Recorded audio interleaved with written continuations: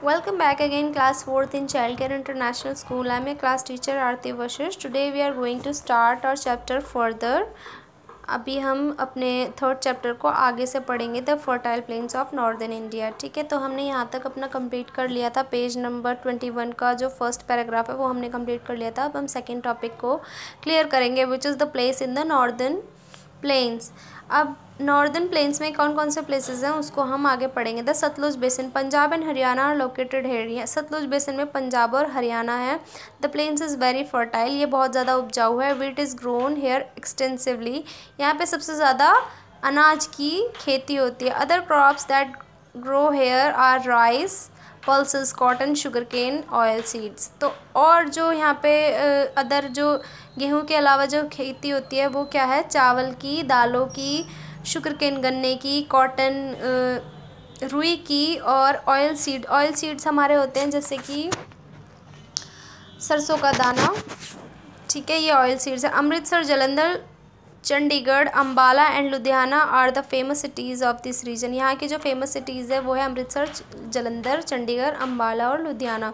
उसके बाद आते हैं हम गंगा बेसिन पे। Uttar Pradesh, Delhi, Bihar, West Bengal are the part of Madhya Pradesh located in this region अब इस रीजन के अंदर उत्तर प्रदेश, दिल्ली, बिहार, वेस्ट बंगाल और मध्य प्रदेश का कुछ पार्ट आता है, ठीक है? Rice wheat sugar cane pulses oil seed jute are the major crop of this area यहाँ की जो मेजर क्रॉप क्रॉप है, जो यहाँ पे उगाई जाती है सबसे ज़्यादा फ़सल वो है चावल, अनाज, गन्ना, दाल ऑयल सीड जैसे कि मैंने बताया उसका सरसों का दाना एंड जूट यहाँ की मेजर क्रॉप है। Delhi, Agra, Varanasi, Haridwar, Meerut, Lucknow, Patna and Kolkata are the most important city of river basin river basin की मोस्ट इंपॉर्टेंट सिटी कौन कौन सी है? हमारी Delhi, Agra, Varanasi, Haridwar, Meerut, Lucknow, Patna and Kolkata Rajgir and Bodhgaya are the famous tourist center अब यहाँ का famous tourist centre है राजगीर और बोध गया। अब आते हैं हम ब्रह्मपुत्र बेसिन की तरफ़। Arunachal Pradesh, Assam and Meghalaya are the state through which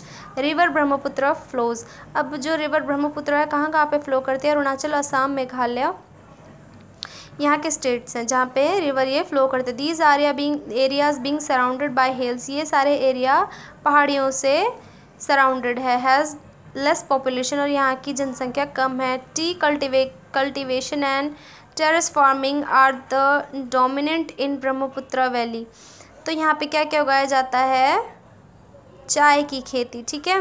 Growing crops on the long narrow terrace cut along the slopes of the mountain is known as terrace farming terrace farming क्या होता है? सीढ़ी नुमा खेती, क्योंकि यहाँ पे पहाड़ ज़्यादा होते हैं तो फिर सीढ़ी नुमा खेत, जैसे सीढ़ियाँ होती हैं पहाड़ों पर जैसे हम जीना होता है ना जीना कैसे चढ़ता है? एक उसके बाद ऊपर ऊपर ऊपर ऊपर ऐसे चला चला जाता है ना। मान लीजिए जीने की तरफ़ जैसे आप देखते हैं आप घर की सीढ़ियों की तरफ़ अगर आप देखेंगे तो मान लीजिए उनको कि वो पहाड़ है और सीढ़ी नुमा खेत है अब उन सीढ़ियों पर फ़ार्मिंग करी जाती है ठीक है? फ़ार्मिंग करी जाती है खेती की, की जाती है। In this type of farming rain water gets rain but the soil stays most moist throughout तो यहाँ पे क्या होता है, बारिश तो होती है, लेकिन बारिश की वजह से भी जो पानी ऊपर से नीचे तक बह के आता है और सॉइल के अंदर मॉइस्चर मौजूद रहता है। राइस एंड जूट और ऑल्सो ग्रो ग्रोन एयर यहाँ पे जूट और चावल की खेती भी होती है। Dibrugarh, Digboi, Guwahati and Shillong are the major cities of this region यहाँ की जो मेजर सिटीज़ है इस रीजन की वो है डिब्रूगढ़ दिग्बोई गुवाहाटी एंड शिलोंग। आते हैं अब उसके बाद नेक्स्ट टॉपिक पे which is are people of northern plains अब नॉर्दर्न प्लेन्स के पीपल लोग कैसे होते हैं? Most people living in this area are farm farmers यहाँ के ज़्यादातर लोग किसान होते हैं as the soil is very fertile क्योंकि यहाँ की सॉइल बहुत ज़्यादा उपजाऊ है। अब बेसिक सी बात है, जहाँ पे जो चीज़ ज़्यादा होगी उसी चीज़ की या तो उसी चीज़ से लोग अपना व्यवसाय बना लेते हैं। अगर मान लीजिए एक एरिया है नोएडा नोएडा को ले लीजिए। नोएडा में खेत नहीं है ज़्यादा, क्योंकि वहाँ की मिट्टी ज़्यादा फर्टाइल है तो वहाँ पे कंपनीज़ ज़्यादा हैं, ठीक है? तो वहाँ के लोगों का जो मेन काम है, वो कंपनीज़ में जाना ही होगा। ऑब्वियस सी बात है, जो जहाँ पे चीज़ें ज़्यादा होगी, वही वहाँ का मेन प्रोफेशन बन जाता है। तो यहाँ के, यहाँ की जो ज़मीन है, वो ज़्यादा फर्टाइल है, बहुत उपजाऊ है इस इसलिए यहाँ के लोगों का मेन प्रोफेशन खेती करना ही है। Because of favourable climate condition irrigation is possible क्योंकि यहाँ का जो क्लाइमेट कंडीशन है वो फेवरेबल है तो इसलिए इरीगेशन यहाँ पे पॉसिबल है। Some people work in sugar cotton jute textile paper leather fertiliser and chemical industries तो क्या है, कुछ लोग यहाँ पे शुगर चीन, चीनी चीनी बनाने की उसमें काम करते हैं। कुछ लोग जूट और कॉटन कुछ टेक्सटाइल कुछ टेक्सटाइल मतलब मतलब पेपर हो गए, इन सब चीज़ों की फैक्ट्रीज़ यहाँ पे इंडस्ट्रीज़ अवेलेबल है जहाँ पे लोग काम करते हैं, ठीक है? लेदर की फर्टिलाइज़र की चीनी की जूट की केमिकल की तो यहाँ पे इन सब की इंडस्ट्रीज़ हैं, ठीक है? Many peoples are also good in artisan काफ़ी सारे लोग आर्टिज़न में और हैंड क्राफ्ट हैंड मतलब खुद की जो हाथ की दस्तकारी होती है, ठीक है? उसमें भी यहाँ के लोग मशहूर हैं। तो किस किस चीज़ों की यहाँ पे वो करते हैं लोग? क्ले, मिट्टी के बर्तन हो गए, मेटल की चीज़ें हो गई, वुड की चीज़ें हो गई हैंड क्राफ्ट्स हो गया, हाथ से बनी हुई चीज़ें होती हैं ना, जैसे कि शॉल हो गए, कश्मीरी शॉल इस टाइप के। इस इस टाइप के मतलब हाथ की कारीगरी भी लोग यहाँ पे जानते हैं। ठीक है, उसके बाद हम आते हैं। In general man wear dhoti kurta. General में मैं, जनरली मतलब डेली वेयर में जो आदमी है वो धोती कुर्ता पहनते हैं, वे waistcoat and turban. Turban जो पगड़ी होती है, ठीक है? और ऊपर से एक जैकेट टाइप की होती है, उसको हम वास्ट कोट बोलते हैं। वुमेन वेयर शलवार कमीज़, औरतें शलवार कमीज़ पहनती है या फिर साड़ी और ब्लाउज़ डिफरेंट स्टाइल के अंदर। इन बिग सिटीज़, बड़े शहरों में people also wear trouser skirts suits E T C तो यहाँ के जो बड़े शहर हैं, वहाँ पे जो लोग हैं, वो ट्राउज़र भी पहनते हैं, पैंट यानी कि, और शर्ट पहनते हैं, सूट पहनते हैं और इत्यादि। Women too wear these along with their western dresses और जो औरतें हैं वो भी इनको भी पहनती हैं और साथ साथ में वेस्टर्न ड्रेसेस भी पहनती हैं। इंपॉर्टेंस ऑफ़ रीज़न अब इंपॉर्टेंस पढ़ेंगे हम रीज़न के। इट सपोर्ट लार्जेस्ट पॉपुलेशन ये बहुत ज़्यादा बहुत ज़्यादा पॉपुलेशन में इसका योगदान है। ये सपोर्ट करती है पॉपुलेशन को।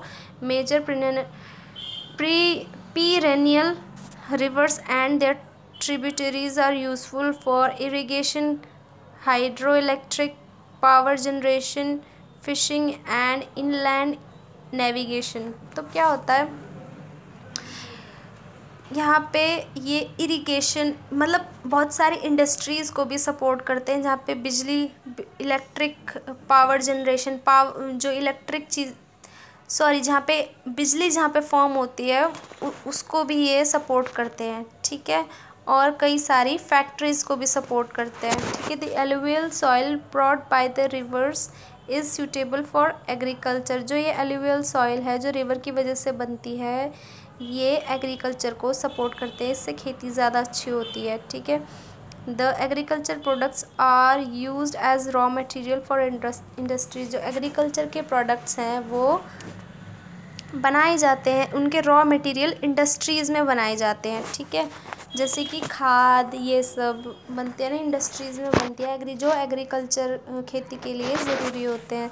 The flat land help in laying of roads and railway without any difficulty जो फ्लैट लैंड्स हैं, जहाँ, जो समतल भूमि है, वहाँ पे रेलवे और रोड बनाने में कोई डिफ़िकल्टी नहीं होती। The northern fertile plains of other country is gift of nature जो ये जो नॉर्दर्न फर्टाइल प्लेन्स है यह हमारे देश के लिए।